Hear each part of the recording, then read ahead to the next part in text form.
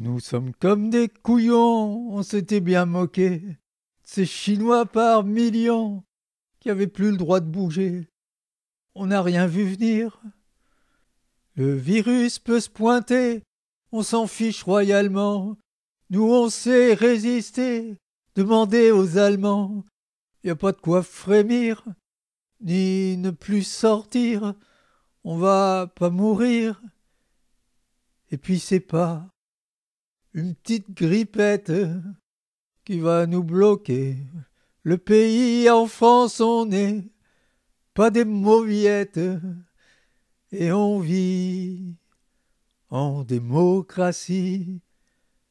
Maintenant c'est insensé, mais notre seule distraction, c'est en début de soirée applaudir au balcon. On n'a rien vu venir, puis franchement, qui l'eût cru qu'à cause d'un pangolin, y aurait plus de lustu cru au Leclerc de Melun? Ça fait réfléchir que ce qu'on va devenir sans nouilles à faire cuire. On était rigoureux, y a pas d'argent magique. Désormais il en pleut sur l'hôpital public.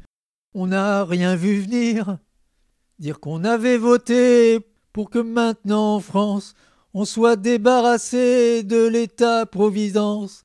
C'est quoi ce délire? Est-ce un repentir? Un autre avenir?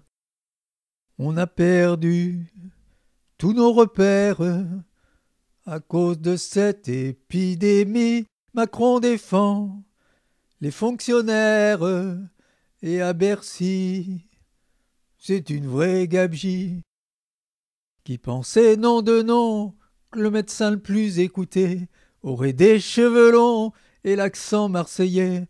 On n'a rien vu venir. Puis c'était pas écrit dans les cartes du tarot.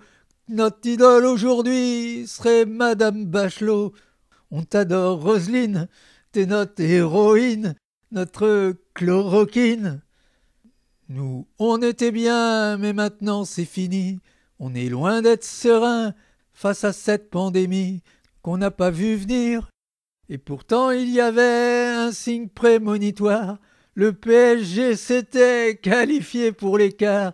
À y réfléchir, ça voulait peut-être dire le pire est à venir.